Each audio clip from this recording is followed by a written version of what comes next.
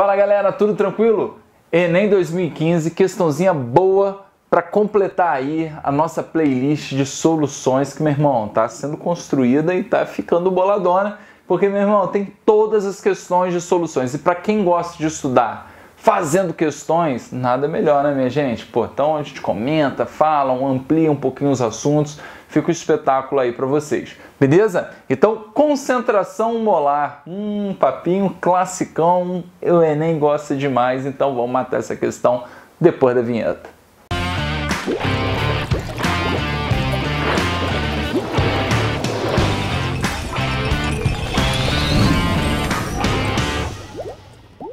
Pronto, galera, a questão tá aí para vocês. Quem quiser pausa, lê com um bocado de atenção. Quem não quiser, vem aqui comigo, que cara, botei aí todas as informações necessárias para a gente achar aí a concentração molar da cafeína, ok?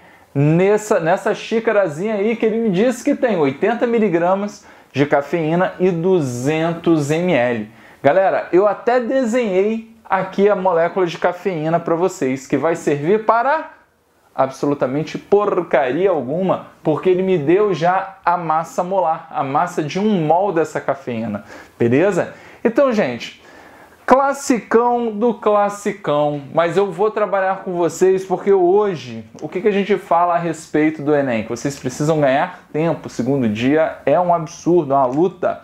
Então, antigamente, né, eu sempre falava com meus alunos, alunos, eu prefiro fazer soluções com regra de três. Mas, mas, pô, trabalhar com regra de três e algumas questões do Enem, cara, demanda você perder muito tempo. Então a formuleta ela te ajuda um bocado, beleza? Então vamos ver como é que a gente pode chegar nas fórmulas, beleza? Sem, né? E aí você, pô, trabalhar isso bem, né, nas questões e já meio que decorando. Porque como eu disse, vai fazer que você ganhe tempo, beleza?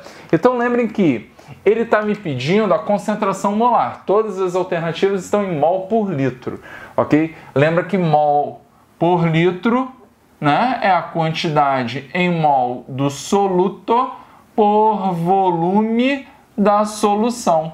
Beleza? Tranquilo? Só que eu tenho um probleminha. Qual é o probleminha? O probleminha está aqui, ó. Ele me deu, gente, ó, a massa do, da cafeína e não a quantidade em mol. Então não consigo jogar esse valor na formuleta, ou até consigo, mas eu jamais acharei o que é mol por litro. Mas a gente consegue fazer a relaçãozinha, ok, de massa e mol, beleza? A gente sabe que para cada, né, para cada mol, a gente pode pegar o valor da massa e dividir por quem? Pela massa molar, que é a massa da tabela.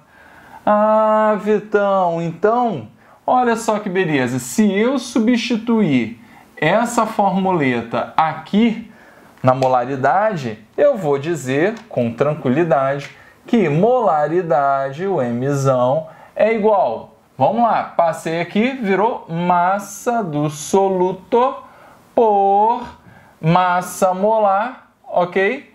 Vezes o volume da solução. Maravilha!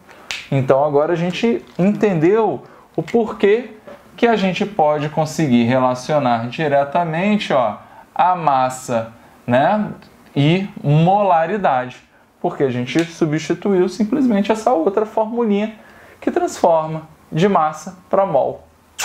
Mole? Agora é substituir e ter muito cuidado com as unidades, que esse cara veio cheio de maldade no coração. Vamos lá? Então o meu Mzão vai ficar igual a massa do soluto, ó, ele me deu em miligrama, eu tenho que passar para grama, senão eu acho milimol. Então isso aqui vai ficar 80 vezes 10 a menos 3, ok? Grama. Show? Massa molar, o infeliz me deu aqui 194, então é 194, bonitão, show de bola. E o volume, minha gente? O volume 200 ml, 200 ml, ó, igual a 0,2 litro, ok? Se eu estou falando em mol por litro nas opções, eu vou passar para litro, ok? Só que eu detesto vírgula, ok? Então eu vou trabalhar aqui, ó, com 2 vezes 10 a menos 1, olha que lindeza. E aí, minha gente, sempre insistindo com vocês que, pelo amor de Deus, olha a diferença que rola entre as opções. Não vai ser a continha assim, pô, nos detalhes que vai determinar essa questãozinha. Ok? Trabalhem aí com o número de algarismo desses números aí, que, cara, que meu irmão vai ser muito melhor. Ok? Então repare o seguinte, ó. Se eu fizer a divisão aqui bem aproximada, ó, repara que isso aqui é 80, certo? Olha só como é que a gente pode facilitar a vida. E 2 vezes 194, cara, pensem aqui 200, beleza? Então se eu aumentar aqui esse valor, ok? Ó, se eu ficar com 800, fica 10 a menos 4, beleza? E dividido por 200 vezes 2, 400 vezes 10 a menos 1. Ah, Vitão, então, ó, cortou, cortou, cortou, cortou. Esse valor ficou 2 vezes 10 a menos 4. Lembra que esse 10 a menos 1 vai para cima, né? É, diminuindo, então fica menos menos 1. Então vai ficar 2 vezes 10 a menos 3 mol por litro. Esse valor aqui é igual a exatamente quem, galera? Letra B, né? 0,002 mol por litro. Beleza? Então não precisava nem fazer essa conta tão bonitinha como eu falei, tá? Então fiquem ligados nas opções. Se houver grandes diferenças entre elas, cara, simplifique o máximo a tua conta.